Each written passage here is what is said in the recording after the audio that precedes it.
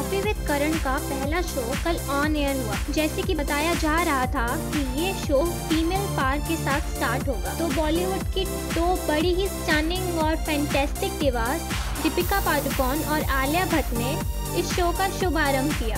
Show को okay okay कहा जा सकता है क्योंकि शो में इन दोनों की केमिस्ट्री लगभग ठीक ठाक थी but it can be a good start for the show show की थीम हमेशा की तरह कांस्टेंट थी पर सेगमेंट्स में कुछ बदलाव थे। There was a wall in the show जिसपे लिखा था stop making sense and take the show seriously इस वजह से शायद इन दोनों डिवाज ने इस शो को कुछ ज़्यादा ही सीरियस ले लिया। Show was started with elephant in the room discussion यानी कि जिस इंसान के शो में सबसे ज़्यादा बात हुई, वो थे रणबीर कपूर। दीपिका ने बातों बातों में बोला कि जो बॉन्ड वो अब रणबीर के साथ शेयर करती हैं वो सबसे बेस्ट और सबसे प्रोडक्टिव है। Alia also confirm her relationship with Ranbir Kapoor. Although Deepika ने शो पर तो अपनी वेडिंग की कोई कंफर्मेशन नहीं दी, पर 21 अक्टूबर को इस शो के प्रीमियर से पहले ही दीपिका और रणवीर की शादी की कंफर्मेशन सभी तक पहुँच चुकी थी। रैपिड फायर राउंड जो कि कॉफ़ी विद करण का सबसे कंट्रोवर्शियल पार्ट माना जाता है, वो भी इतना कंट्रोवर्शियल नहीं था।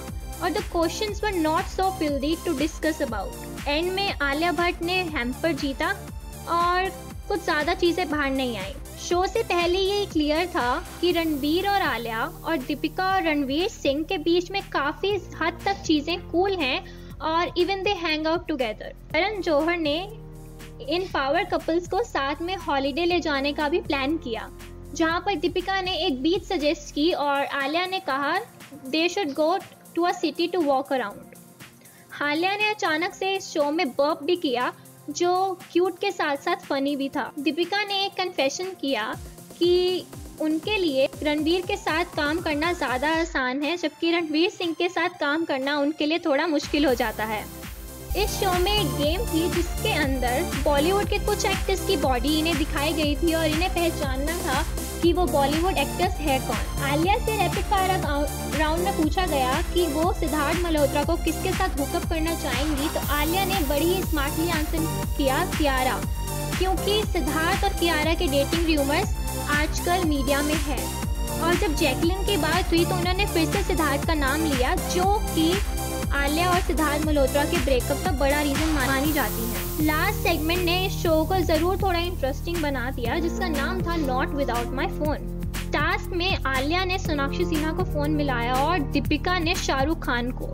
दीपिका की बातें सुनकर शाहरुख खान काफ़ी पैनिक हो गए। हम इस शो को कुछ ज़्यादा बुरा भी नहीं कह सकते और कुछ ज़्यादा इंटरेस्टिंग भी नहीं, क्योंकि व्यूअर्स कॉफ़ी विद करण के सिक्स सीज़न में इससे ज़्यादा तो कंट्रोवर्सीज एक्सपेक्ट कर ही रहे थे। अब नेक्स्ट वीक में हमें जानवी कपूर और अर्जुन कपूर का ब्रदर सिस्टर डुओ देखने को मिलता है या सारा अली खान और सैफ अली खान का फादर डॉटर डुओ ये तो हमें नेक्स्ट वीक ही पता चलेगा क्योंकि करण जौहर की आदत है कि वो सारी चीज़ें बाद में ही डिस्क्लोज करते हैं।